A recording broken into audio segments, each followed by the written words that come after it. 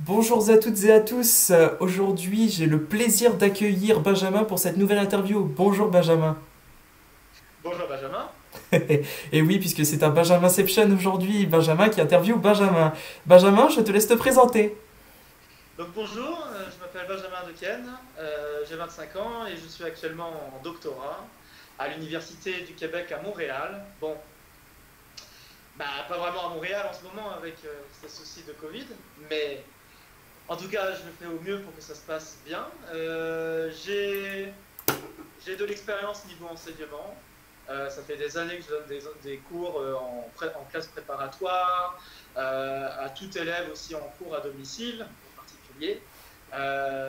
Pour vous donner une idée, les cours particuliers, je les ai commencés il y a 9 ans, donc voilà, ça fait déjà une bonne, une bonne dose. Après, dans mon parcours et dans mes hobbies, bah, euh, on va dire que celui qui ressort euh, le plus, c'est le catch. Euh, puisque bon, je pratique le catch depuis quelques années. J'ai eu l'occasion de commencer un peu le catch à Montréal quand j'étais sur place. Malheureusement, avec le Covid, c'est aussi en pause. Mais bon, après, tout autre type de hobby comme jeux vidéo, échecs, etc. Très bien, bah, superbe présentation. On va retracer ton parcours euh, un petit peu, non pas depuis le début, mais plutôt depuis le début des études supérieures. Donc euh, dis-moi, euh, tu as fait une seconde générale, une première générale, et ensuite nous voilà en terminale. Les trois ans de lycée sont passés extrêmement vite. Qu'est-ce que, qu'est-ce qui s'est passé? Quelles spécialités tu as pris Quelles options tu as prises Donc, en terminale? ou- En terminale. En terminale, c'était S. S, c'est européenne.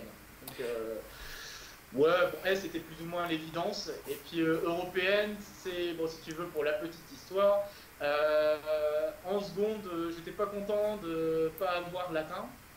Donc, du coup, j'ai râlé envers l'administration. Puis, au bout d'un moment, ils m'ont dit bon, bah, soit tu changes pour une classe euro, soit tu continues ton parcours comme si de rien n'était. Et puis, bah, voilà, on- n'y plus de latin. Et bon, bah, c'est comme ça que je me suis retrouvé en classe européenne. Et bon, bah, évidemment, à la suite de ça, j'ai eu mon bac mention bien et mention européenne.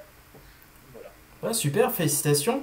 Et nous voilà du coup à l'été, et il y a eu entre deux Parcoursup, donc admission post-bac pour toi comme pour moi. Et donc, Bah quel, ch- quel choix t'avais fait sur euh, APB euh, Quels ont été plutôt tes résultats? Et quelle a été ta réaction par rapport à ces résultats? T'étais plutôt content, plutôt insatisfait? Bon, en gros, euh, pour, faire très simple, hein, APB, il n'y avait que deux choix. Enfin, pour moi, dans ma tête, il n'y avait que deux choix prépa ou fac. Donc, euh, on va dire que peu importe le choix, je m'attendais à avoir prépa. De toute façon, je, prépa en premier, à Tulier, euh, donc à, à Amiens. Euh, bon, voilà, moi j'avais fait ce choix parce que j'avais pas à ce moment-là.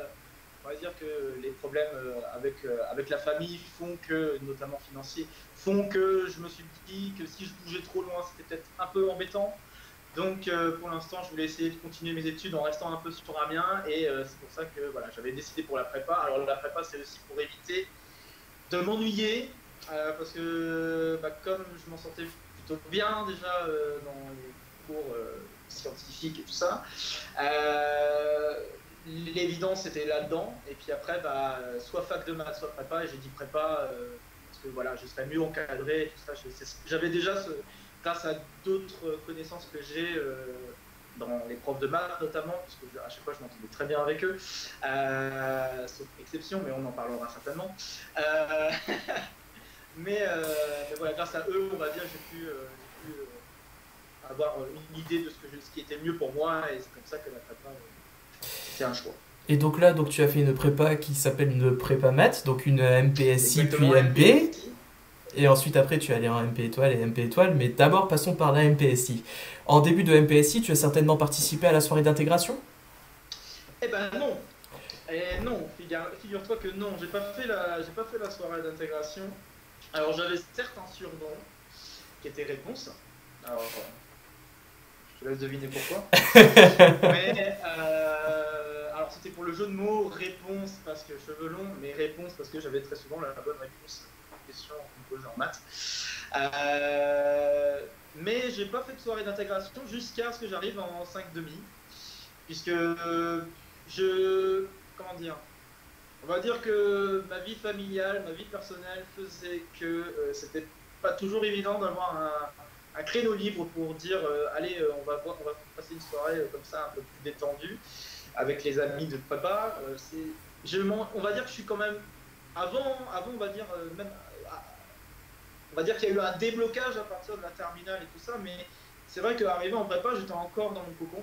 Euh, en mode euh, je suis dans ma bulle et euh, bon je parle à quelques gens qui veulent bien me parler et puis moi bon ok si on vient me parler je vais me parler mais si on ne vient pas me parler je vais pas chercher donc me retrouver dans une bulle de trucs intégration ça je, je, pense que je me serais senti très mal à l'aise en tout cas à la première année de prépa je me serais senti très mal à l'aise c'est pour cette raison que je ne suis pas allé après pour la 3,5 bah, c'était une question que ça tombait pas à la bonne date par rapport à ce que j'avais prévu et puis la 5,5, bah là, je dis, bon, bah si je la fais pas maintenant, je la ferai jamais. Alors, bah, la 5,5, je l'ai quand même faite. Donc, voilà. Et tu l'as fait en tant que parrain. voilà, exactement. Bon, j'espère que tu l'as pas. Je saurais plus qui. Euh, qui... attends, c'était qui peut-être Je sais pas si. Non, je, je saurais plus te dire qui était euh, la personne que j'ai parrainée. Mais, euh, mais, bon, ouais, bah, on a passé une bonne soirée. Donc, euh, non, bah c'est cool. non, non, on va éviter. on va éviter de tout dire euh, en caméra.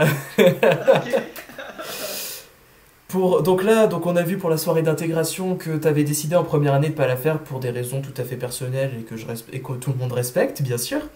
Et donc là, bah, on va partir plutôt sur la partie études, sur la partie CPGE. Que, comment ça s'est passé? Parce que là, on a vu que tu as fait une 3,5 et ensuite après une 5,5. Comment ça s'est passé? Comment on en est arrivé là?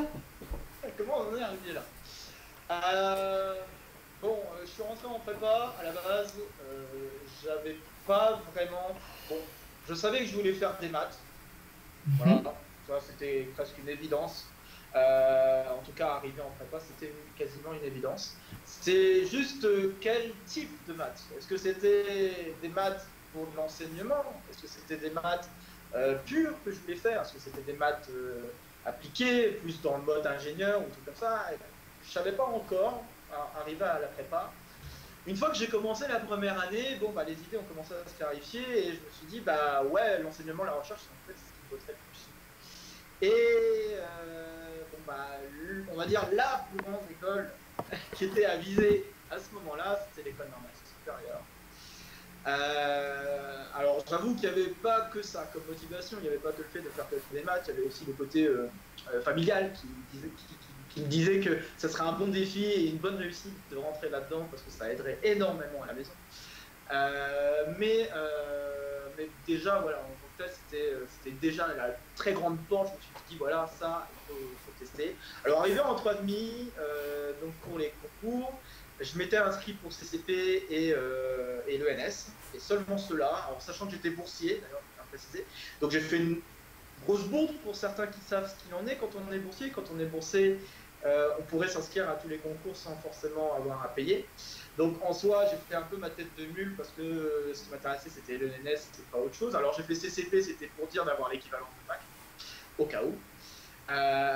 et puis bon, bah, au final, on va dire que mes notes en maths toujours se passaient bien, mais les autres notes, bah, ce qui m'avait plombé cette année-là en 3,5, c'était le, c'était euh, la physique, la physique chimie qui m'a complètement plombé. J'ai eu 6 de souvenirs, j'ai eu 6,5 ou un truc comme ça, donc voilà. Euh, mais j'ai quand même eu CCP. Les écoles qu'il y avait dedans m'intéressaient pas tant que ça, mais je me suis dit que je vais quand même passer l'oral, parce que c'est un entraînement. Euh, donc j'ai passé l'oral, ça s'est bien passé, même s'il y a un gars qui m'a un peu râlé dessus, c'était euh, notamment la physique, parce que j'avais fait des équations différentielles et à la fin j'ai eu un moins au lieu d'un plus dans un résultat euh, qu'on connaît bien normalement, un truc, si tu veux, je te le dis, y seconde plus oméga carré fois y égale 0, bah moi j'ai pas eu un plus, j'ai eu un moins, alors on m'a envoyé ah. du poisson pourri parce que j'avais une mauvaise orientation. Bon, enfin bref, ça c'est un détail. Et arrivé à la fin, donc euh, à la fin des concours et tout ça, bah, je me suis posé la question est-ce que ça, vaut vraiment le coup de refaire les 5 demi Et à vrai dire, j'avais l'intention de faire la fac. Voilà, la première idée c'était de faire la fac. Je voulais pas faire 5 demi, je voulais, aller à la fac. Je me suis dit de toute façon, si je vais à la fac, je vais arriver à mon but. Je vais revenir à, enseignant-chercheur, donc ça, ça, va bien se passer. Mais en discutant encore une fois avec ses connaissances, euh, donc des profs de maths que j'ai rencontrés au fur et à mesure de mes de mes cursus et en demandant leur avis, bah, on m'a sorti, enfin, il y en a un qui m'a sorti notamment la phrase euh, Oh, retente, ça coûte rien. Vraiment, euh, tu, refais, euh, au pire, tu pourrais voir ça comme un redoublement, mais il y a toujours moyen de s'en sortir, passer en MA ou un truc comme ça. Après ça, donc tente. Voilà, on ne sait jamais qui ne rien à rien. Donc cette phrase, je l'ai entendue une semaine avant la rentrée. Et une semaine avant la rentrée, donc j'ai fait, mon, fait mon inscription très rapidement. Et donc c'est comme ça que je me suis retrouvé à faire 5 demi. Alors à la suite de la 5 demi, je peux aller tout de suite vers les concours. Euh, cette fois-ci, j'ai pas fait mon con, euh, si je puis dire. J'ai, euh, je me suis inscrit à tous les concours que je pouvais, sauf le 3 ans. Mais bon, je fait, si tu veux. Mais sinon, voilà, j'ai fait, tous les concours. C'est vrai que c'était assez rude. le rythme était assez compliqué à gérer. Contrairement à quand j'ai passé CCP, ENS, quand c'était, avait un temps de battement, tu pouvais respirer. Là, se taper tous les concours, c'est vrai que c'était assez rude. C'était un peu plus de 3 semaines, je crois, ça te souvenir. Euh, où chaque jour tu tapes examen sur examen, enfin, devoir sur devoir, si tu veux, de 3 heures, 4 heures, suivant, euh, suivant ce que tu dois passer. Voire même pour l'ENS, c'était des sujets voire de 6 heures. Donc voilà, c'est rude. Euh, mais globalement, j'étais plutôt satisfait de ce que j'avais fait. Malheureusement, encore une fois, l'ENS n'est pas passé. pas de bol, hein. Même si les résultats étaient bien meilleurs. Mhm. ça, c'est, Notamment pour, pour te dire, à quel point c'était meilleur. J'avais eu en philo la moyenne, donc c'est quelque chose d'énorme. c'est quand même quelque chose d'énorme. Ceux qui en euh, feraient pas comprendront. ceux qui en feraient pas comprendront. C'est quelque chose d'énorme d'avoir la moyenne à l'ENS pour, le sujet, euh, pour un sujet de philo. Euh, mais bon, ça n'a pas suffi parce que, encore une fois, il y a une matière qui m'a plombé qui était l'info à ce moment-là. Donc, bon, bah, voilà. Mhm. Et puis bah, la 5 demi, on m'avait dit Centrale. Alors j'ai vu Centrale Paris. J'étais admissible à Centrale Paris, Centrale Marseille, et ça m'aurait intéressé d'aller à Paris. Mhm. Marseille, j'avoue que un peu moins à cause de la distance, notamment. Et puis bon bah quand je regardais les débouchés, euh, si je voulais aller vers la ligne de mire que je m'étais fixée, enseignant chercheur, Marseille. Euh, en tout cas une centrale, c'est plus. Enfin, faut faire des zigzags quoi pour arriver à, à ce que je veux. Faut faire des zigzags. Donc, euh, bon, je me suis dit, euh, si j'étais à Paris, peut-être que ça se passerait mieux. Bon, puis à la suite des euros, malheureusement, Paris, ça n'a pas pu se faire. Par contre, Marseille, j'étais admis, mais euh, je n'ai pas accepté. Du coup, je me suis retrouvé en fac par la suite, en rentrant en M1. Et donc, du coup, pourquoi t'as pas passé au 3A Alors, pourquoi j'ai pas passé au 3A Parce que bah, quand je comparais par rapport à CCP, alors déjà, E3A, ça, correspondait à des écoles qui étaient plus ingénieurs. Mhm. plus école d'ingénieur et tout ça, et ça m'intéressait pas. Ça m'intéressait pas du tout. Moi, ce qui m'intéressait, en tout cas, arriver à mon 5,5, ça c'était une certitude à ce moment-là, c'était l'enseignement et la recherche que je voulais. Et le 3A, les écoles proposées à le 3A, c'était pas. Euh, ça m'amenait pas à ce que je voulais. J'étais sûr que ça. Ou alors très difficilement. Mais euh, voilà. Donc, du coup, je, je m'étais dit centrale, centrale Paris notamment. Je m'étais dit pourquoi pas. Ou ENS. Bon, bah, l'ENS n'a pas été le cas. Central Paris, malheureusement, à la suite des euros, ça n'a pas été le cas. Alors, du coup, c'est passé par la fac. Il y a aussi une formation, je crois, euh, où ils demandent les notes de CCP, c'est le magistère. Je sais pas si tu étais au courant qu'il y avait ça. Oui, T'as pas, pas tenté? J'ai tenté rapidement, mais. Euh... Ça te branchait pas? C'est vrai que ça ouais, ça me branchait pas plus que ça, parce que ça donnait l'impression que tu reprenais en L3, ça donnait cette impression que en gros, euh, tu reprenais ce que tu avais fait de la prépa au début. Tu, pouvais avoir, de ce que je voyais dans chaque programme, hein. c'est mon avis. Hein. Arrivé en 5,5, je voulais pas faire magistère parce que ça me donnait vraiment cette impression d'avoir perdu une année. Donc c'est pas. Voilà, ça me tentait pas plus que ça. Alors j'aurais été à l'ENS, ça aurait été une autre affaire, parce que bah, là, ok, tu as peut-être perdu une année, mais tu l'as pas perdu pour rien. C'est ça que je me serais dit. Euh, mais là, euh, là, donc, tu vois, passer par un magistère en 5,5. Non, en 3,5, j'avais tenté un peu plus, mais à chaque fois, euh, quand je voyais les programmes, bon, d'accord, ça m'intéressait, mais bon, en gros, je voyais que c'était une fac, quoi. C'était presque le même principe qu'une fac. Enfin, en tout cas, c'était mon, c'est mon avis. Après, c'est vrai que c'est pas tout à fait la même chose, mais globalement, c'est ça. Donc, bon. D'accord, très bien. Donc après ta prépa et ta 5 demi, tu es parti à la fac? Ouais, à la fac, euh, donc l'université de Picardie Jules Verne, pour une année, mais ça s'expliquera à la suite de cette année si tu me poses la question, tu me poseras ta question. Qu'est-ce qui s'est passé lors de cette année à la fac? Qu'est-ce que tu as tenté? Cette année à la fac, donc normalement, déjà je vais expliquer vite fait, normalement, le 5, le 5,5 étant considéré comme un redoublement, j'aurais dû me retrouver en L3. Tout à fait. Mais euh, on va dire que grâce à quelques connaissances, encore une fois, toujours les mêmes, euh, et euh, grâce à un dossier assez en béton sur les maths, j'ai pu tenter ma chance en M1 directement. Je suis rentré directement en Master 1. et on m'avait dit à ce moment-là, si tu réussis ton année, bah, tu passes, et donc du coup tu as automatiquement ta licence, tout va bien. Si tu rates, tu redescends à L3. Donc c'était un peu un deal. J'ai dit je le fais, et puis de toute façon j'étais dedans, ça plaisait, et euh, voilà. Et puis bon bah, euh, je vais directement plus ou moins vers la fin pour dire ce qu'il en est, hein, comme ça euh, vous voyez ce qui s'est passé pour le deal. Bah, le deal je l'ai remporté haut la main puisque finalement j'ai majoré le master. Donc tout, tout s'est très bien passé. Et donc en plus de majorer le master, on va dire que j'ai été entêté. j'ai dit au début que je voulais avoir le NS, bah, j'ai retenté, mais avec un, avec un autre biais euh, qu'on appelle le second concours, et ça, peu de gens le connaissent. Donc il y a un autre moyen de rentrer à l'école normale supérieure qui est de passer ce qu'on appelle un second concours. Alors il y a, l'entrée par dossier, mhm. c'est vrai, mais il y a aussi l'entrée second concours qui est un peu le même style que le premier concours, sauf que cette fois-ci c'est très centré sur un domaine en particulier. Donc ça peut être la physique, ça peut être la chimie, ça peut être l'informatique, ça peut être l'art, euh, design et tout ça, ça existe aussi. Et pour ma part, c'était les maths. Donc du coup, bah, je suis rentré là-dedans, j'ai réussi à être admissible. Puis à la suite d'un entretien, donc on passe des écrits, si, vous voulez, on passe des écrits. Alors d'abord, on a un dossier à mettre. Oui, vas-y, je t'en prie, explique, explique.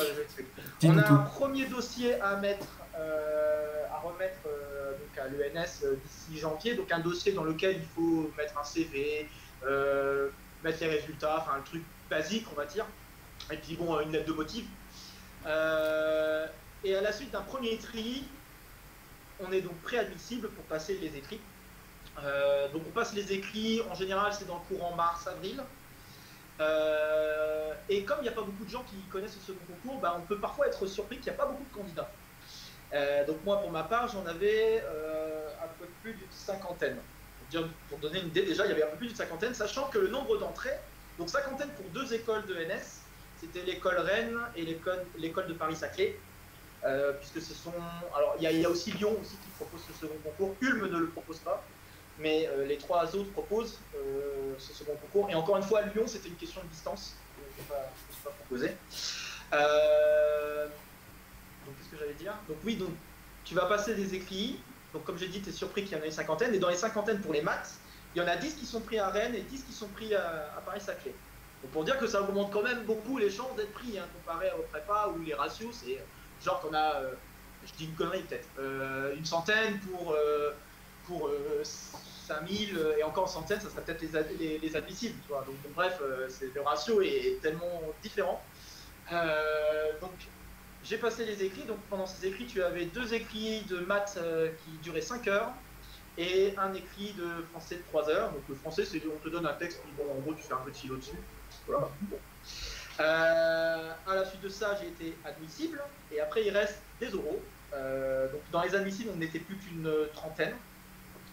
Et euh, on passe des oraux, donc il y a un oral de maths comme une colle pour ceux qui connaissent les prépas. Donc c'est-à-dire qu'on vous donne un petit truc d'exercice à préparer pendant 30 minutes. Et puis ensuite, vous passez 30 minutes devant le monsieur à expliquer les exercices, et puis bah, il vous pose des questions. Et puis il y a un autre entretien qui se fait, euh, où pareil, vous préparez un petit texte. Alors ça peut être un texte scientifique, n'importe lequel, c'est pas obligé que ce soit des maths, mais c'est un texte scientifique. Et puis bah, après, vous allez passer devant deux personnes qui gèrent les deux ENS, donc ça dépend. Euh, si vous passez celui de Paris-Saclay, ça sera les deux de Paris-Saclay. Si c'est celui de Rennes, vous passerez Rennes, etc. Euh, et puis bah, devant eux, on a un temps de présentation de ce document. Et puis, euh, après ce, pendant 10-15 minutes, on parle du parcours. Donc on parle de son parcours, de ce que, pourquoi on, veut passer le NS, etc.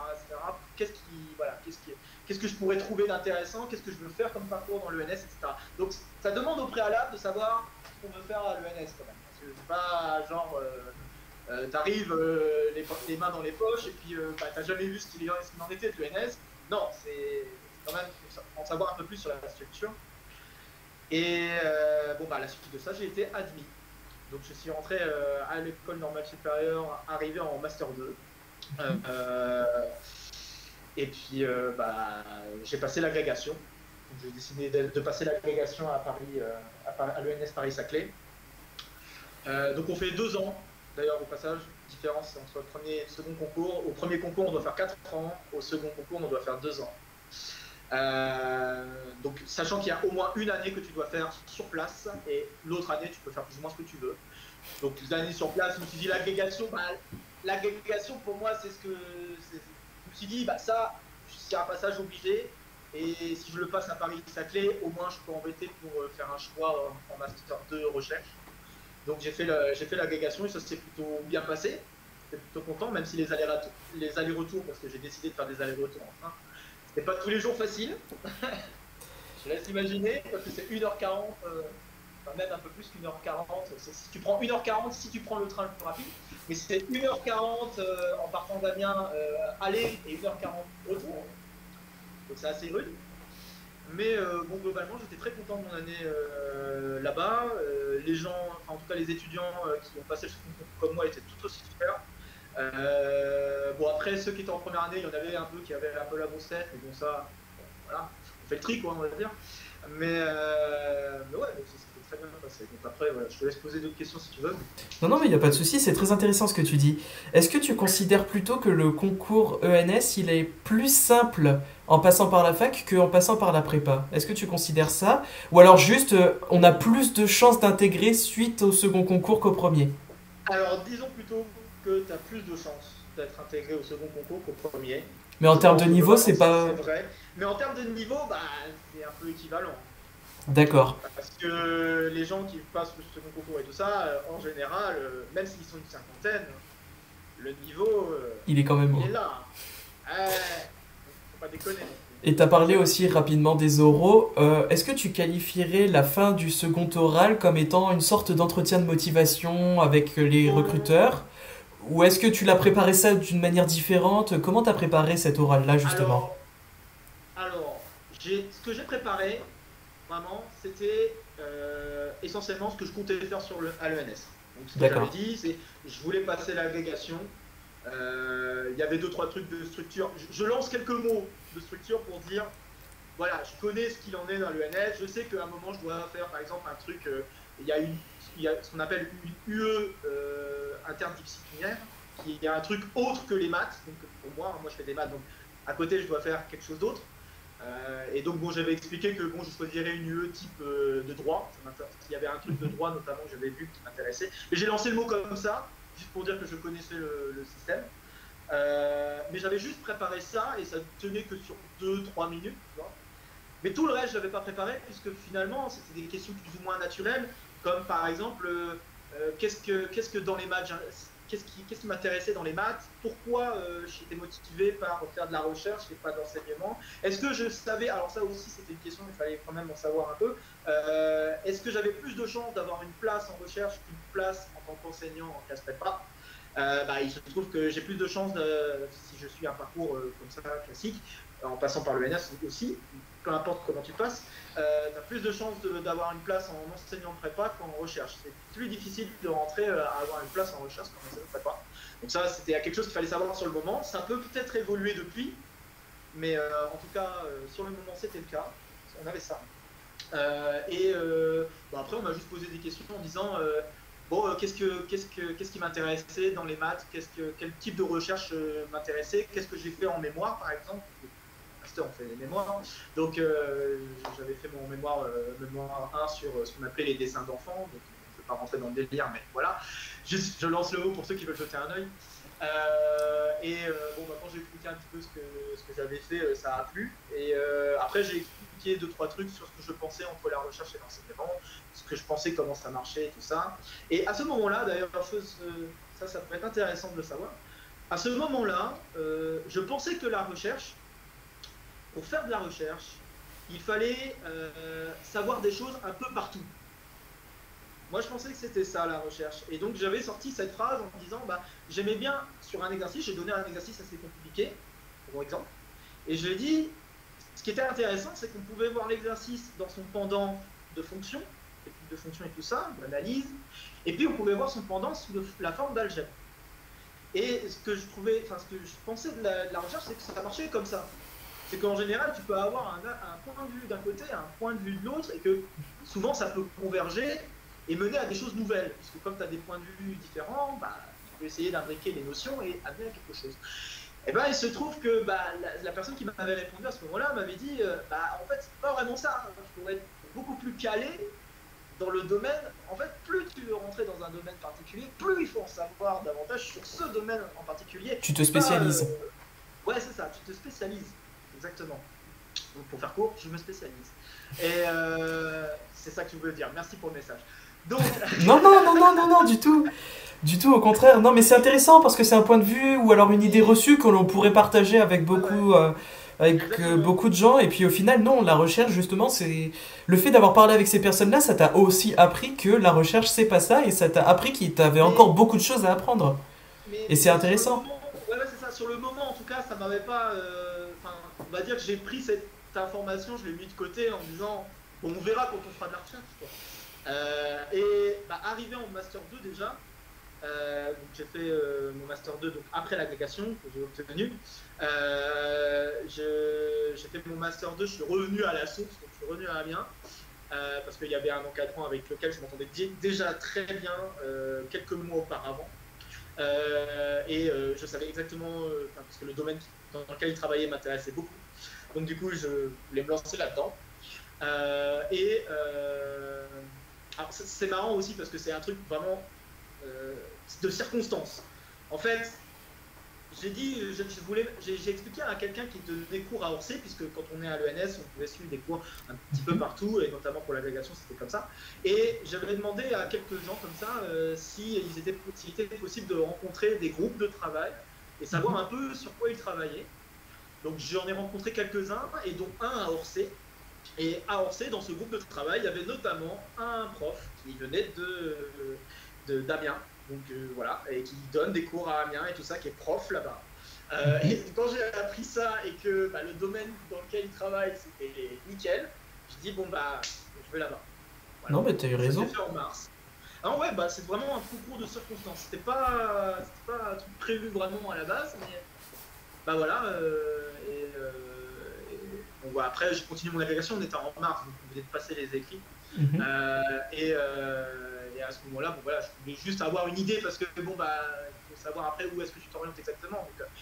Euh, et c'est comme ça qu'au fur et à mesure, je me suis rendu compte que oui, les maths, les maths algèbres, les maths fondamentales, c'est ce qui m'intéressait beaucoup plus que les maths appliquées. Donc, je suis parti dans cette voie. D'accord, super. Et t'as dit notamment que tu as passé pendant ta première année à l'ENS, tu l'as faite à Paris-Saclay, euh, où tu as préparé euh, l'agrégation. Et justement, dans la pour la deuxième année, tu as fait quoi exactement? Tu es parti avec ce professeur de mathématiques d'Amiens. Donc tu as, suivi, tu as suivi des enseignements là-bas, mais en même temps, tu t'es amusé à faire autre chose. Je me trompe?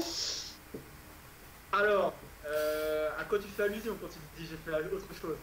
C'est-à-dire que, c'est-à-dire que disons que tu es parti à l'UPJV, donc tu es retourné poursuivre des cours avec ce professeur, et ensuite après tu n'as, pas oublié ta prépa, je crois. Ah non, non, je l'ai pas oublié, mais même depuis le début. En fait, euh, dès que je suis sorti de la 5 demi, il y avait, j'ai, rencontré pendant mes concours, j'ai, j'ai eu le plaisir de retrouver un ami d'enfance, un très vieil ami d'enfance. Et en discutant un peu avec lui, dans les quelques rares fois qu'on s'est rencontrés, parce qu'on s'est rencontrés que deux fois pendant les concours, donc à l'écrit, à l'oral, c'était assez rigolo de se retrouver en même temps au même endroit. Et euh, il m'avait expliqué qu'il était possible d'être colleur à la suite de la prépa. Euh, donc sachant que, d'ailleurs, en parallèle hein, des études, il y a toujours les cours à domicile. Hein, tu avais un planning très chargé. D'ailleurs, les cours à domicile qui prenaient de plus en plus d'ampleur. Euh, puisque bon, bah, bouche à oreille faisant, évidemment, euh, et les gens disent Ah, bah ça, il est bien, il est bien, il est bien. Euh, au fur et à mesure, enfin, au début, j'avais commencé avec un ou deux élèves qui sont devenus 5, puis 10, puis 20, puis 50. Et le maximum que j'ai obtenu, je crois que c'était en Master 1, Master 1, voire même peut-être Master 2 agrégation, à ce moment de l'agrégation. J'avais une vingtaine, trentaine, même trentaine une trentaine d'élèves réguliers et après il y en avait quelques-uns que je voyais euh, en une semaine sur deux. Donc euh, euh, en plein du temps très rude. Donc évidemment j'essayais de les regrouper mais voilà. Donc à côté de ça j'avais ça. Et puis quand on m'a donné l'idée de, coller, bah, ça me branchait beaucoup. Alors je me suis dit, bah, pourquoi pas tenter? Alors j'ai envoyé un petit courriel pour voyez le mot québécois.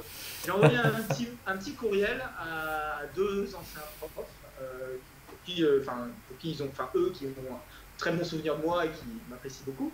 Euh, et ils m'ont dit d'office, hein, je n'ai pas eu à attendre très longtemps. Ils m'ont dit d'office, ok, on te prend en tant que colleur, pas de problème.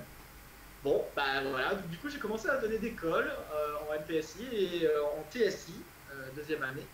Et bon, bah, ça faisait drôle de se retrouver de l'autre côté du, parce que bon, on a l'habitude d'être élève, de se retrouver dans le tableau, et puis voilà. Bah là, c'était sens inverse. C'est moi qui m'interrogeais, et bah j'ai kiffé. Voilà, et je kiffe toujours, parce que bah, continue à coller. Euh, jusqu'à même maintenant, malgré euh, cette histoire de Montréal et tout ça, bah j'ai essayé de garder le, lien euh, le plus longtemps possible, et je continue à l'entretenir le, le, plus longtemps possible, parce que ce que j'aime bien, c'est aussi pouvoir partager non seulement ma passion des maths, mais aussi l'expérience. Le, fait de le fait de te rattacher à, quelque chose que tu as, où as été depuis le début, et puis voir que tu es loin maintenant, mais que tu es, tout de même encore accroché à ce petit truc-là, bah, dès que tu parles aux élèves, tout de suite, tu as plein de choses à raconter. Et ça, je trouvais ça. Euh, voilà, ça m'intéressait beaucoup aussi de, partager ce genre d'expérience. Donc, euh, quand tu me dis, ah bah, tu te retrouves au Canada, et puis bah, là, à côté, tu es toujours à Tully en train de donner des cols, c'est quand même assez. Euh, assez rigolo. Donc euh, je voilà, j'en profite pour partager euh, deux trois anecdotes comme ça et puis euh, puis en même temps, ça permet peut-être à certains étudiants de se dire ah bah ça pourrait m'intéresser de faire ça, ce, ça, cela, ceci, cela. Et puis même avoir quelqu'un qui est en train de faire de la recherche actuellement, c'est voilà, je sais pas, ça peut donner encore plus d'engouement à, s'y lancer. Donc donc oui, en effet, j'ai fait fait j'ai fait ça. Mais on voit que tu es passionné et puis de toute façon c'est très intéressant ce que tu dis et puis je suis sûr qu'il y a certains profils qui vont pouvoir se retrouver euh, dans ton témoignage. Et encore d'ailleurs merci encore de témoigner aujourd'hui. Euh, donc là tu as fait, tu as fait de prépa, tu as fait en même temps les maths, tu as fait en même temps professeur particulier. Donc le planning était très serré. Mais ensuite après ça, tu t'es dit allez je vais me fixer un autre objectif, je vais aller à la conquête du Québec. Alors, dis-moi tout là-dessus c'est très compliqué. Mais, pas si compliqué, mais c'est quand même assez compliqué. En fait, à la base, j'avais pas prévu du tout de partir au Québec. Bah alors, pas du tout. Euh, la base, c'était. Euh, je suis donc je suis en master à, Amiens et je commençais, je, m'entendais très bien avec mon encadrant euh, de, pouvoir et j'espérais continuer mon doctorat à Amiens avec ce professeur pour pouvoir ensuite m'installer aussi avec ma moitié puisque à côté il y a aussi une vie amoureuse. Euh, mais euh, voilà, j'espère. Il y avait, pas mal de petits projets euh, qui étaient, en cours et que je me disais bon, ça devrait bien se passer. Je suis à l'ENS, normalement, une bourse pour le doctorat, ça devrait bien se passer. Donc les bourses pour le doctorat, ça s'appelle le CDSN d'ailleurs pour l'école normale supérieure, le contrat doctoral. le S, je sais plus, mais N normalienne. Le S, je sais plus, mais bref. et ce contrat, en fait, il y en a. Alors j'ai appris qu'il y en a un élève sur deux qui va l'obtenir. J'avais avant, il y a quelques années avant, j'aurais été sûr de l'avoir. J'aurais été sûr de l'avoir parce que c'était attribué à tout le monde. Euh, mais euh, au fur et à mesure des années, apparemment, euh, bah, je pense que c'est peut-être une histoire des deux, qu'il y a un petit peu plus d'étudiants d'un côté, et de l'autre côté, tu peux avoir aussi le fait que bah, côté financier, c'est peut-être pas la même chose, surtout qu'ils étaient en train de déménager à ce moment-là, parce juste pour l'info, avant ça s'appelait ENS Cachan, et c'est devenu ENS Paris-Saclay parce qu'il y a eu un déménagement de, Cachan vers un truc euh, qui, regroupe plusieurs écoles, euh, donc l'université Paris-Saclay, ça s'appelle aussi. Euh, et bon, bah, certainement qu'ils ont dû financer des choses pour le chantier et tout ça. Donc, à mon avis, il y a dû avoir aussi des petits coupes budgétaires. Bon, j'en sais pas plus, mais disons ça. et donc, cette chance sur deux, bah, comme Paris-Saclay est plus orienté maths appliquées, et moi, étant orienté maths fondamentales, bah, il y a quelque chose qui ne coïncide pas.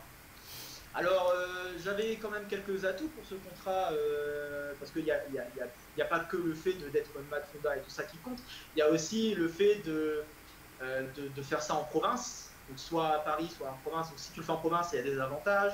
Si, euh, suivant le thème que tu abordes et les applications qu'il pourrait y avoir, donc moi par exemple j'ai appuyé le fait qu'il pourrait y avoir des applications informatiques, si on poussait la chose jusqu'au bout, ça, ça pouvait être intéressant, comme ça. Même en physique quantique aussi, il y a moyen d'avoir des applications dedans. Euh, mais malheureusement, mon dossier n'a pas suffi, je me suis retrouvé en attente. Euh, et en attente, ça veut dire, bah, il y a peut-être quand même pas mal de chances que tu l'obtiennes pas. Donc il a fallu trouver un plan B. Alors ça n'a pas été le Québec tout de suite. Premier, première chose que j'ai chercher, c'est est-ce que par hasard il y aurait des profs en France qui travailleraient sur un domaine plus ou moins proche de ce, que je, de ce qui était fait avec euh, le, prof arabien Et est-ce que bah, est-ce qu'ils ont un financement? Parce que j'ai oublié de le mentionner, mais je vais le mentionner tout de suite. Pour faire un doctorat en maths euh, en France, bah, il faut une bourse. Bourse d'études, automatiquement. Tu peux euh, tu peux pas faire un doctorat sans bourse. Même si tu t'auto, t'as pas le droit de t'autofinancer non plus. Il faut vraiment avoir un financement donné. Parce que moi, je m'étais même proposé pour m'autofinancer. J'avais les moyens de m'autofinancer grâce à, ce qui s'était passé avec l'école normale supérieure, grâce au col que j'ai pu donner également à Paris, puisque les choses ont évolué au fur et à mesure. Euh, mais malheureusement, on m'a pas donné cette opportunité de m'autofinancer, donc il a fallu trouver un endroit où il y avait un financement. En France, bah, j'ai pas eu beaucoup de chance, puisque bah, on n'a pas beaucoup, enfin, ou alors s'il y en a, bah, c'est pas du tout le domaine que je veux. Donc, alors j'ai cherché en Europe, puis après j'ai vu deux trois contrats en Belgique, mais pareil, ça restait des domaines qui étaient un peu trop éloignés par rapport à ce que j'aimais. Puis bon, au, bout d'un moment, j'ai dit bon bah de toute façon, moi je veux faire le doctorat, je veux pas faire, je veux pas passer par l'agrégation parce que ce que j'avais peur, enfin valider l'agrégation parce que aussi pour l'agrégation, je veux dire, une fois qu'on a passé les écrits, on a, ok, le statut d'obtenir l'agrégation, mais il reste, il reste un stage à faire d'un an, d'un an ou de deux ans, après ça peut dépendre, mais euh, si tu fais que ça, il y reste un stage d'un an où tu fais que de l'enseignement. Et au bout de ce stage d'un an, là, tu es certifié, agrégé, il n'y a aucun problème. Euh, sinon, pour ceux qui font le doctorat en même temps, par exemple, il y a moyen d'avoir un contrat sur deux ans où tu fais des heures de TD, et euh, c'est ce qu'on appelle un monitorat. Et au bout de ces deux ans, pareil, agrégation validée. Le stage, on peut le décaler trois années successives. Et puis, bon, si tu veux le décaler une année supplémentaire, il y a moyen de faire une dérogation. bon voilà, je rentrerai dans les détails si besoin, mais en tout cas, juste pour donner une idée de ce qui se passe avec l'agrégation, c'est ça. et il y avait un autre souci aussi vite fait, c'est que pour la, pour, pour l'agrégation, ça? Je pense que oui, c'est pour l'agrégation. Quand tu veux décaler l'agrégation, alors c'était le, contrat de base en tout cas, euh, il fallait que je sois dans un institut ou une organisation de recherche française. Donc déjà, ça restreint, ça, peut restreindre pas mal les choix. Voilà, ça peut restreindre pas mal les choix. Euh, bon, apparemment, le contrat a évolué puisque maintenant, tu n'es plus obligé de dire que tu. en gros, tu n'as plus cette restriction. Je ne sais pas si c'est encore le cas, hein, mais a priori, puisque moi j'ai renouvelé mes, ah, le fait de décaler d'une année, quoi. J'ai renouvelé ça à chaque fois. Euh, donc, et à chaque fois que j'ai renouvelé, les deux fois que j'ai renouvelé, on m'a pas redemandé si j'étais dans une institution euh, française ou quelque chose comme ça. Donc a priori, je pense que ça a dû évoluer ce truc-là. Mais à ce moment-là, j'étais embêté par ça. Alors bon, Belgique, ça restait plus ou moins francophone, j'aurais peut-être pu m'en sortir encore. Mais malheureusement, non. Puis après, si je cherche un peu plus dans l'Europe, même dans l'Europe, je ne trouvais pas quelque chose qui m'intéressait. Et c'est comme ça que petit à petit, puisque mon encadrant aussi m'en a parlé, c'est comme ça que petit à petit, bah, l'idée d'aller au Québec euh, a émergé, puisqu'il y a le laboratoire euh, de combinatoire euh, et de combinatoire informatique et mathématique, le LACIM, donc, qui propose de travailler donc sur des thèmes de combinatoire, d'algèbre, comme je faisais avec, mon encadrant donc Yann, je vais donner les prénoms parce que sinon on va pas y arriver. Donc Yann, et Yann m'a dit qu'il allait voir, je, lui ai dit que ça commençait à me tenter cette histoire de Québec, et il m'a dit, bah, si tu veux, je peux aller discuter avec un autre gars en recherche qui travaille là-bas, qui est assez connu, en tout cas dans ce domaine-là, et même dans d'autres domaines, puisqu'il touche pas mal de choses. Pour un matheux, être, enfin pour quelqu'un qui fait de la recherche en maths fondamentale, être connu par un million de personnes, c'est quand même énorme. Euh, et euh, donc cette personne s'appelle Hugh Thomas. Euh, et attention, on dit bien Hugh, même si ça s'écrit Hugh, mais on dit Hugh. et bah, Yann a pris contact avec lui. Et puis bah, j'ai appris que bah, Hugh travaille plus ou moins dans le même genre de choses. Hein. donc j'étais vraiment très content de savoir ça. Et que bah, y a moyen que je rentre au la CIM pour, pour l'hiver, pour l'hiver prochain, c'est-à-dire pour le janvier qui suivait.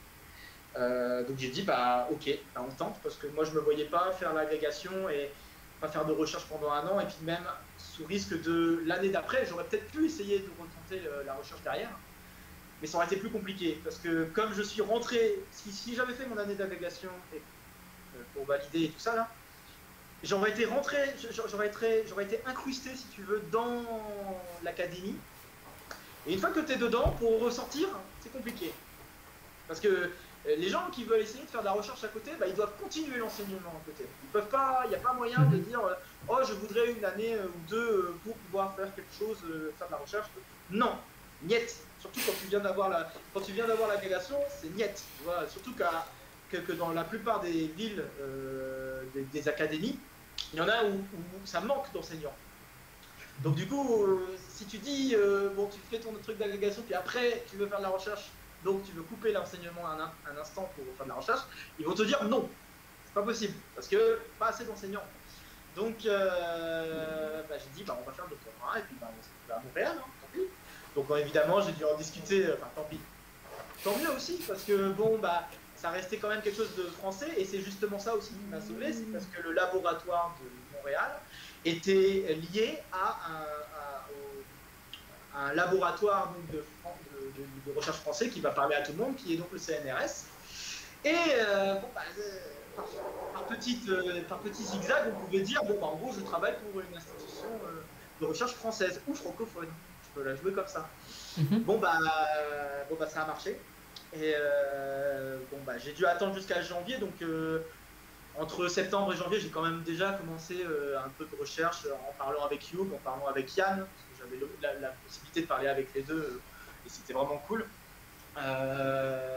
et puis après, bah, arrivé, arrivé en janvier 2020, donc, je rentre au Québec. Donc le 2 janvier, j'arrive euh, à Montréal. Alors c'est pas la première fois que j'allais à Montréal, puisque la première fois c'était un tout petit peu plus tôt, euh, en automne, donc euh, octobre.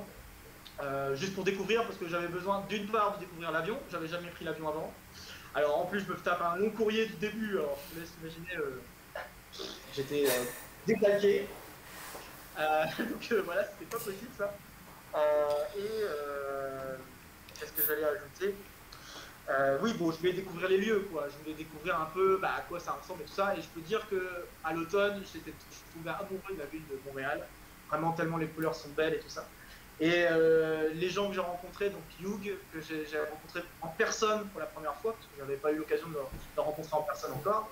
Et puis euh, d'autres professeurs qui travaillaient là-dedans, bah, ils étaient vraiment très conviviales. Enfin, L'ambiance est très conviviale. on voit les idées qui émergent de gauche à droite quand on, se regroupe pour faire euh, travailler, donc ce qu'on appelle faire les groupes de travail, quoi, de recherche. Et euh, voilà, je savais que à ce moment-là, euh, au bout de ces deux semaines, je savais que là, à cet endroit-là, j'allais me plaire. Donc c'est une évidence. Et, et, voilà, donc j'ai commencé mon doctorat le 2 janvier, 2 janvier là-bas, 2020. Et donc, euh, tu disais justement que tu avais besoin de voir un peu comment c'était la vie là-bas. Comment est-ce que tu décrirais le mode de vie canadien ou même les études euh, au, Québec? Est-ce qu'il y a véritablement des grosses différences avec la France euh, Est-ce que ça fonctionne sous format comme pour nous on pourrait le vivre, c'est-à-dire cours TDTP, examen partiel? Ou alors ce sont d'autres types d'évaluations? Comment est-ce que c'est En quoi est-ce différent En quoi est-ce similaire? Ok, alors je connais pas tout le système, hein, je pas bien tout de suite. Mais en tout cas, je connais, je connais, on va dire, la partie universitaire. Euh, je, peux, dire des mots sur le, côté universitaire. Le côté universitaire, alors déjà, chose rigolote, la licence, euh, pour eux, c'est pas la licence, c'est le baccalauréat. voilà, donc quand tu dis baccalauréat là-bas, c'est le début de l'université. Donc faut faire attention, mais voilà. Euh, donc, bah, en gros, tu as quand même quelques années de licence à faire. ça peut être deux ou trois ans, ça dépend, ça dépend dans quel domaine tu es. Euh, après, tu as les années de master et tout ça, ça c'est assez similaire. Pour la constitution des cours, en général, tu as euh, des heures de cours et de TP qu'ils appellent pas ça, ils appellent pas ça des TD, pardon. Ils appellent pas ça des heures de TD, ils appellent ça des heures de démonstration. Euh, donc c'est des heures pendant lesquelles tu as un professeur qui te fait la correction de tous les exercices qui étaient à faire, par exemple pour la semaine, Donc, il te fait donc des démonstrations concernant ces exercices, pour ça ça s'appelle comme ça. Euh, pour les cours, bon après les formats de cours, alors aussi une chose différente. Bon, le format de cours, bon en gros c'est quand même assez similaire à ce qu'on a en France. Disons que la différence globale pour les cours, c'est que par rapport à nous en France, et je l'ai appris il y a très peu de temps, hein, donc c'est très frais là, euh, mais la différence entre quand tu reçois un cours en France et quand tu reçois un cours au Québec, c'est que en France, on a tendance à te donner la base, et puis bon, des petits exercices avec cette base. Et quand tu vas arriver euh, à, des exercices de TD qu'il faut préparer ou à des exercices d'examen et tout ça, bah, les exercices sont beaucoup plus compliqués. On cherche à te pousser jusqu'au bout à utiliser tout ce qui était dans la base. Au Québec, c'est un peu différent. On va te dire, voilà, ça c'est le, le cours, on va dire.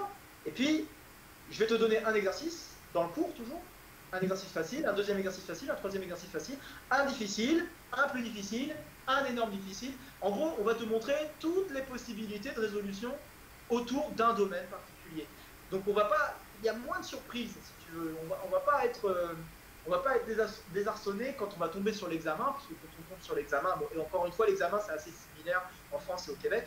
Euh, mais euh, quand tu tombes sur l'examen, bah, en France souvent tu tombes sur un sujet qui, que tu n'as jamais vu. Des fois c'est très souvent comme ça, tu tombes sur un sujet que tu n'as jamais vu, que tu connais pas. Alors qu'au Québec, bah, c'est quelque chose que tu as déjà vu. D'accord. Pour les exercices. C'est assez étonnant, mais voilà, j'ai appris ça il n'y a pas longtemps, tu vois.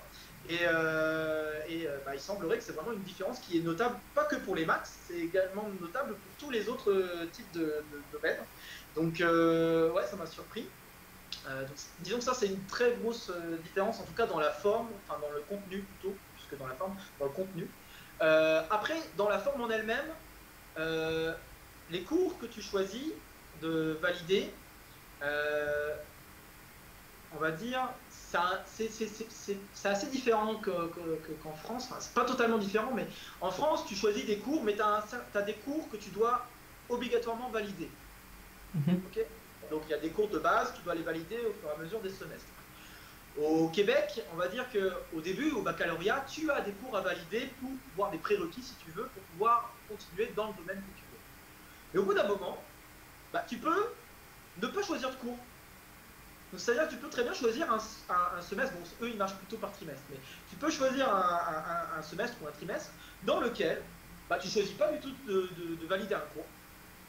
Tu passes donc 4 mois, en général c'est 4-5 mois, à ne rien, ne rien faire en particulier à, à, l'UCAM, en tout cas de cours à valider. Mhm. Et ça, ce qui a d'utile, c'est que si tu as euh, un travail à côté à faire euh, au Québec ou un truc comme ça. Si tu as, euh, je sais pas, une urgence familiale et qui doit durer je ne sais combien de mois, si tu veux te donner du temps également pour toi faire de la recherche, imaginons qu'on est dans le même cadre que moi, on fait un doctorat ou un mhm. master, et que tu as besoin de temps pour travailler la recherche et tout ça, et eh ben c'est possible. Ce qui n'est pas possible, ce qui est beaucoup moins possible euh, en faculté, en tout cas au niveau master et tout ça, c'est pas possible du tout même. donc, et c'est vraiment un truc à la carte qui est encore plus fort, c'est aussi un truc à la carte. C'est-à-dire que tu pourrais très bien choisir de suivre un cours qui n'a rien à voir avec les maths, quoi. Pas de problème, tu peux chercher à valider un autre cours si tu veux. Bon. Après, ça sert ou ça sert pas, d'accord? Mhm. Mais tu peux chercher à valider un cours d'informatique, un cours de physique, un cours de. Tout ce que tu veux, tu choisis, d'accord Et puis, euh, bon, une fois que tu as choisi, évidemment, tu as les frais d'inscription et tout ça qui évoluent en conséquence, donc ça. Voilà. Mais. Euh, mais ouais, c'est assez étonnant ça, euh, ce genre de fonctionnement. Je suis en train de réfléchir et je pense à un autre truc que je pourrais ajouter, c'est les bourses. sont différentes. Euh, en France, nous, donc notamment pour le doctorat, on nous attribue une bourse avant de démarrer le doctorat. Mm-hmm. Au Québec, c'est l'inverse. Au Québec, tu commences le doctorat, ou le master, ça pourrait être pareil pour le master. Tu commences, tu commences euh, tes années, et puis au fur et à mesure que tu avances dans tes années, tu vas avoir donc des notes correspondent à ce que tu as euh, obtenu, ce que tu as validé au fur et à mesure des semestres. Et puis par rapport à ces notes, ces résultats que tu as obtenus, et par rapport à ton dossier scolaire général, tu vas candidater pour différentes bourses. D'accord? Donc avant de candidater à ces bourses, bah, il faut avoir quelques notes en fait euh, dans l'université même pour pouvoir, euh, bah, y candidater. Il y en a quelques-uns, tu les as d'office. Donc quand on est français par exemple, on a des exonérations, bourses d'exonération on appelle ça comme ça. ce qui fait qu'on ne paie pas beaucoup de frais supplémentaires parce qu'on va payer les frais correspondant aux cours québécois et tout ça. Bon. Mais normalement, il y aurait des frais supplémentaires parce que je viens de l'étranger. Normalement, il y a ça. Euh, pour te donner une idée, un ordre d'idée, bon, je vais parler en dollars canadiens parce que je connais que l'évaluation en dollars canadiens. je pense qu'on fait la, on fait, en ce moment en tout cas, on fait la conversion en faisant 0 euh, 0.6, on multiplie par 0.6. Mais euh, en dollars canadiens, il peut y avoir des Marocains, par exemple, qui n'ont pas cette bourse d'exonération. Et bah, pour cela, ils doivent payer des fois jusqu'à une somme dépassant les 10 000 dollars par trimestre qui est énorme. Ce qui est quand même énorme et euh, impressionnant. ça, peut, ouais, ça peut. peut-être pas par trimestre, peut-être que j'exagère, peut-être dans toute l'année, je pense. Dans toute l'année, c'est 10 000, dollars, alors que pour un Français, ce serait 3 000.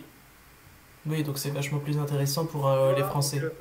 voilà, c'est ça, c'est plus intéressant pour les Français. Et pourquoi il y a, il y a cette question de bourse d'exonération C'est parce qu'il y a une entente entre le Canada et la France, euh, notamment le Québec et la France, puisque bon, bah, je pense que pour la plupart qui ont déjà entendu parler des choses au Québec, au Québec, il y a quand même, on va dire, une majorité de Français et ce qu'ils attendent, c'est justement d'amener des gens qui parlent français pour continuer à entretenir la langue française euh, et éviter que la, partie anglophone prenne le dessus. Euh, et donc, euh, bah, justement, si un Français va au Québec, bah, il va avoir beaucoup d'avantages, dont ces questions de frais. il va y avoir aussi ce qu'on appelle la bourse de soutien universelle, donc pour n'importe qui qui débutera, alors ça c'est valable pour n'importe qui, pas que pour les Français, pour n'importe quelle autre nationalité, euh, il y a une bourse de soutien qui est proposée, bon c'est pas grand chose, mais c'est toujours bien, euh, donc une bourse de soutien qui s'évalue, alors c'est 13 000 dollars sur 3 ans, euh, et donc c'est découpé en plusieurs morceaux, donc 5, 5 000 pour la première année, 4 000, 4 000 pour les deux autres. et c'est pas négligeable parce que pour démarrer, bon, bah, au début tu vas faire beaucoup de dépenses, parce que bon, bah, il n'y a rien qui rentre au début, c'est vrai que c'est pas, pas toujours facile.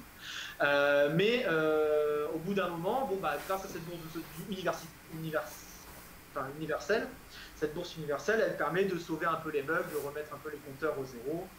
Il y a aussi la possibilité de demander à son, à son encadrant de nous donner une bourse par rapport à ses fonds de recherche. Mhm. Ça aussi, ça peut faire. Et puis après, bah, on peut soi-même se proposer pour faire des démonstrations donc euh, au, Canada. Donc c'est mon cas. Hein. Depuis que je suis arrivé en, janvier, je me suis lancé à faire des démonstrations. Alors pas du tout dans le domaine de maths, euh, dans les statistiques. Alors pour te dire, voilà, rien à voir. Mais euh, bon, les statistiques, ça va, c'est cool. tant qu'on va pas dans des trucs qui, m'énervent, mais pour l'instant, on va dire c'est bien. et puis, bah, au fur et à mesure, tu peux avoir des places aussi pour carrément donner cours.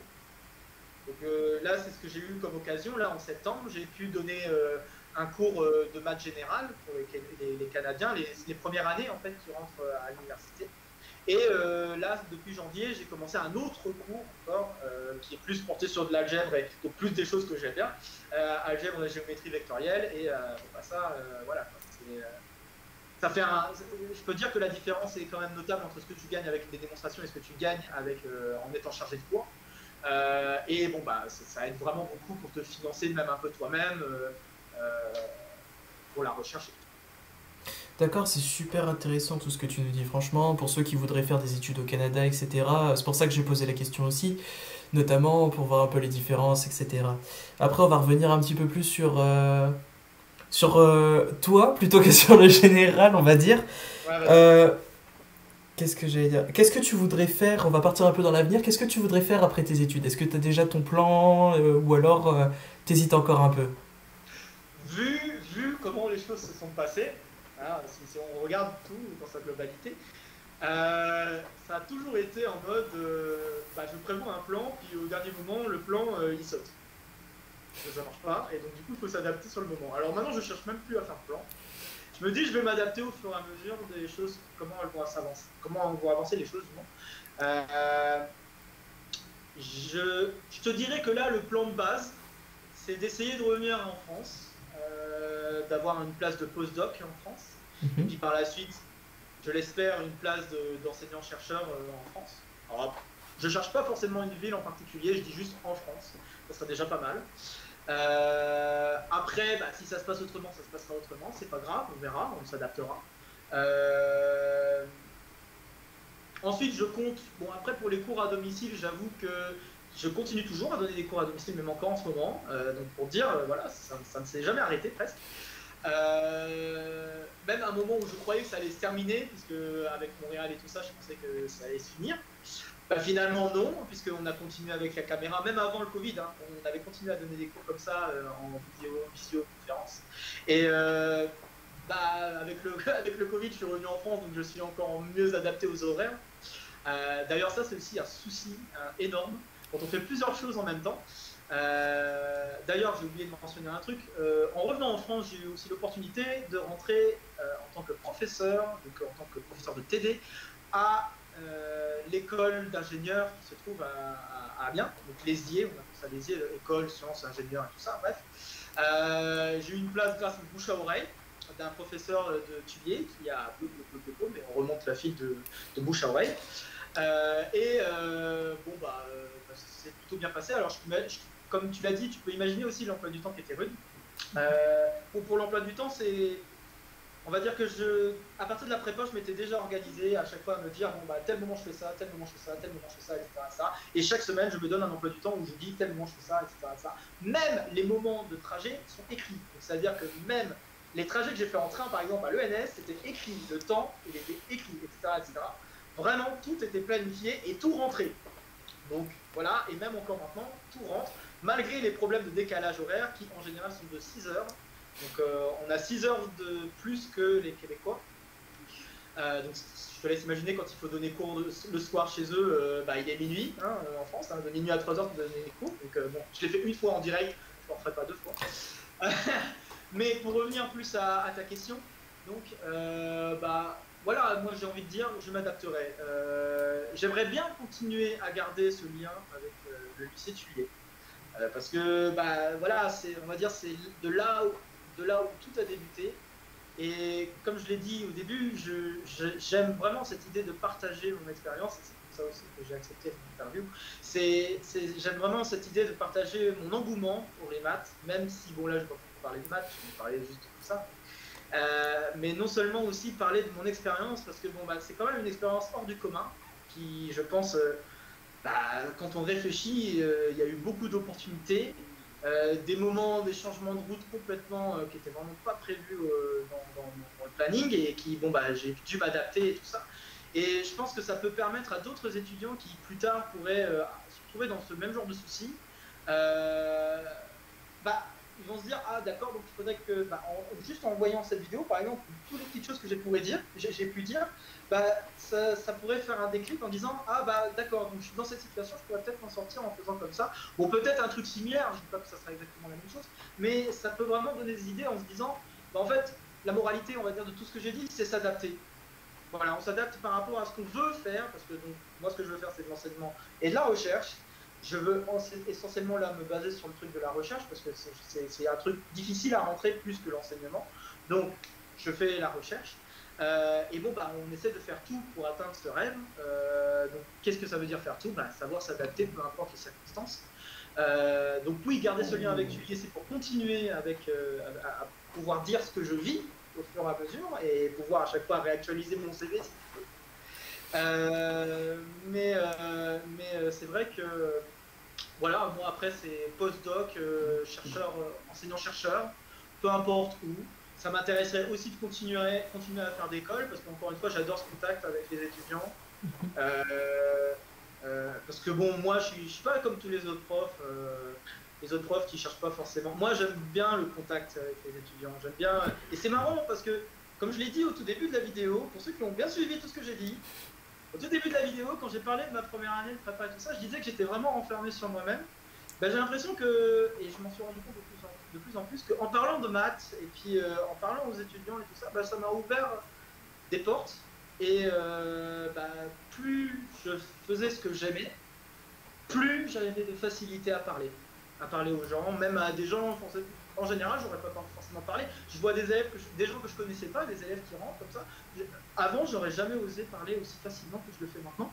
Maintenant, je rentre, je, sors des petites blabounettes, pas de problème. Je pose un exercice. Pour les exercices en général que je pose, ils disent que c'est difficile. Bon, bah d'accord. Hein.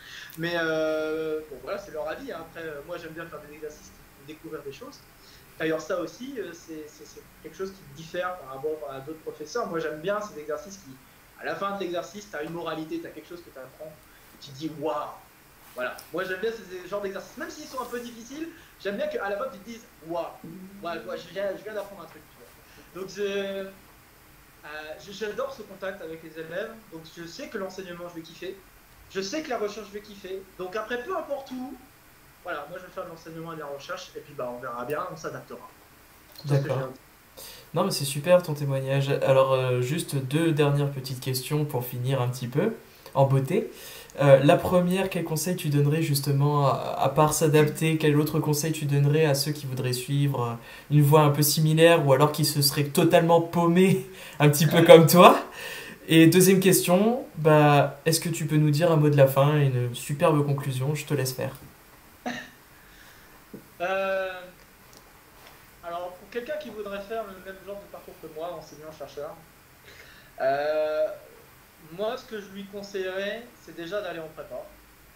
Moi, je le dis carrément, prépa. Parce que tu seras, pour la personne qui fera la prépa, elle sera beaucoup plus enclin, on va dire, elle aura davantage le niveau pour, euh, euh, pour, la suite, en fait. Parce qu'une fois que tu as fait la prépa et que tu sors et que tu te retrouves en fac, même si tu vas en fac, imaginons que l'école normale supérieure, ça se passe pas bien, bah, tu, tu, te retrouves en fac, mais arrivé en fac, ça va te paraître un peu plus facile. Tu vas commencer à avoir une vision d'ensemble que tu n'aurais pas eu si tu étais resté juste à, aller en fac et puis, euh, et puis basta.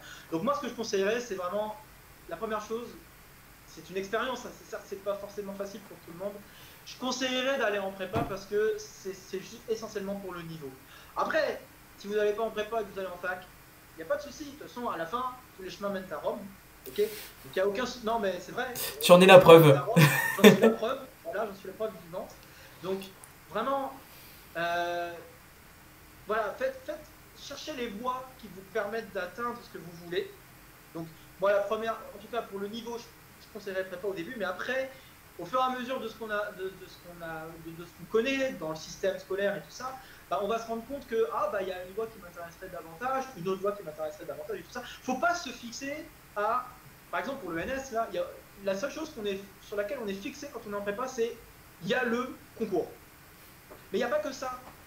Il y avait le second concours et il y avait aussi l'entrée par dossier. Alors ce que je conseillerais, c'est que au fur et à mesure des avancées de, scolarité, on va, si vous n'avez pas encore l'idée précise de ce que vous voulez faire, au fur et à mesure de ce que vous allez faire dans votre scolarité, bah, vous allez vous rendre compte de ce, que vous aimez et vous rendre compte aussi de quelle école vous voudrez peut-être dans laquelle vous voudrez euh, entrer, vous voudrez, euh, intégrer, vous avez compris, je pense. Bref, euh, et à partir du moment où vous savez où est-ce que vous voulez aller, regardez toutes les voies pour y aller. Parce que on vous donne juste la voie concours, mais il y a peut-être moyen de passer autrement. Faut pas hésiter à regarder s'il y a d'autres voies pour passer autrement. Quitte à faire des zigzags, tant pis, pour faire un peu de zigzag, mais on va y arriver, quoi. D'accord? Faut, se fixer cet objectif.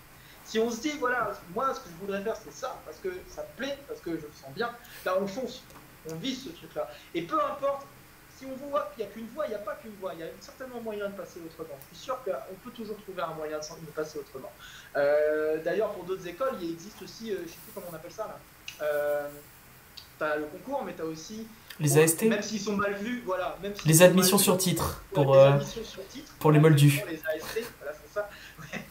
les AST, c'est ça. Cherchez le nom. Mais euh, ça peut ne pas être si mal vu que ça. Si tu as fait une prépa et puis finalement tu rentres par AST, bah, tu auras quand même un bon niveau, hein. tu seras pas lésé. Et surtout, et surtout, je t'interromps, je t'interromps juste euh, justement à propos de ça.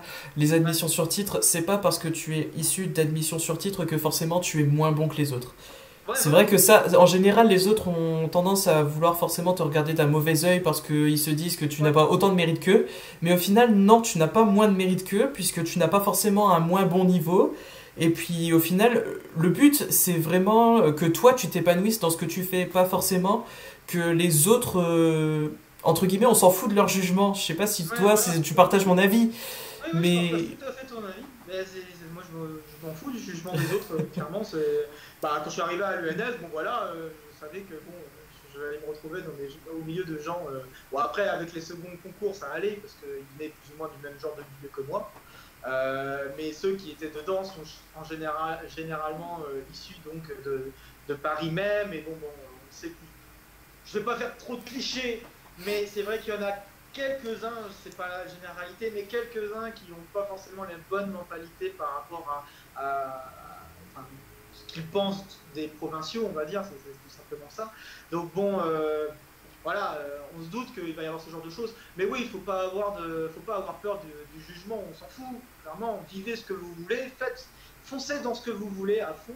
Et puis, bah, si vous y, si vous y accrochez un maximum, je suis sûr que ça va, ça va le faire, vous allez y arriver. C'est, vraiment, c'est ça la moralité aussi de mon histoire, c'est ça. Il faut s'accrocher au maximum et euh, se donner au, maximum pour ce qu'on veut, ce qu'on rêve. Euh, et même, même quand on a des activités à côté, puisqu'on n'a pas eu l'occasion d'en parler, mais je vais en parler rapidement, euh, même quand on a des activités à côté, comme moi pour ma part le catch, on est capable de concilier différents petits rêves.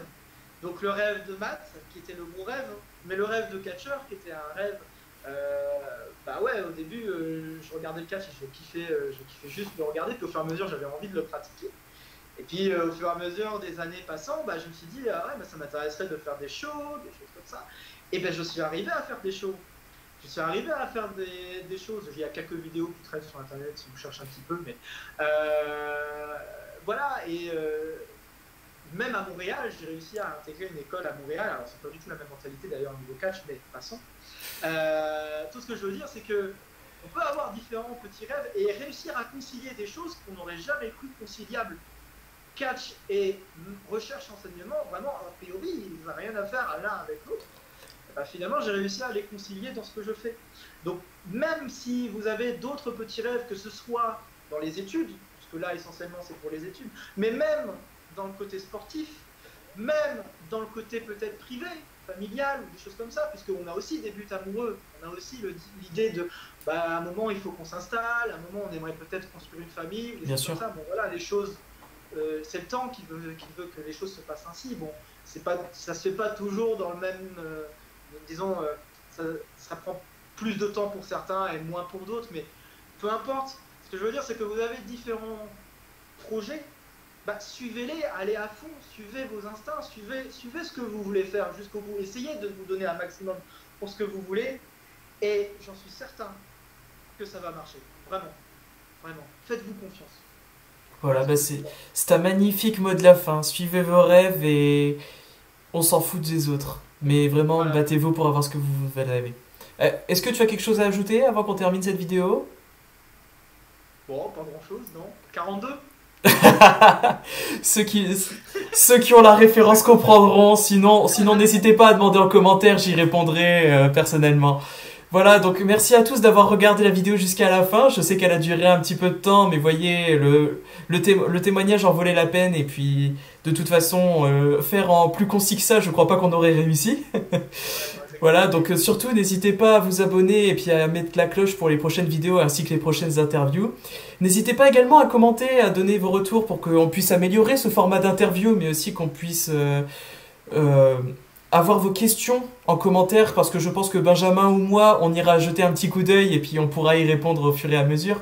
Et puis bah, je vais simplement vous dire à bientôt pour une nouvelle vidéo et une nouvelle interview.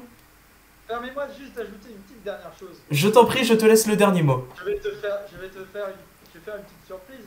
Euh, je vais débuter une chaîne YouTube qui portera sur des maths justement. Euh, donc bon, j'ai commencé à, à, mettre des enregistrements de cours justement que je faisais à, au Québec. Pour l'instant, il n'y a que ça. Mais au fur et à mesure, euh, je compte mettre d'autres contenus et notamment j'ai eu l'idée de faire des exercices de colle par exemple Mhm. Donc de proposer euh, chaque semaine peut-être un exercice euh, un peu particulier qu'on pourrait retrouver en exercice de colle. Et puis bah, je le corrigerai comme ça en vidéo. Euh, bon, je sais pas combien de temps ça durerait à chaque fois pour chaque vidéo. Mais voilà, il y a une chaîne qui commence à se faire, à se dessiner. Et bon, bah voilà, bah, j'en profite pour, en même temps pour dire, bah, si vous voulez jeter un petit coup d'œil, n'hésitez pas. non, mais tu as raison. Bah, si j'y pense, je mettrai un lien quelque, quelque part, mais je, trouve, je trouverai le moyen de mettre un lien. Et puis voilà, bah merci beaucoup à toi encore euh, pour ce témoignage qui fut fort intéressant. Et puis bah voilà. À la prochaine les amis. Salut Salut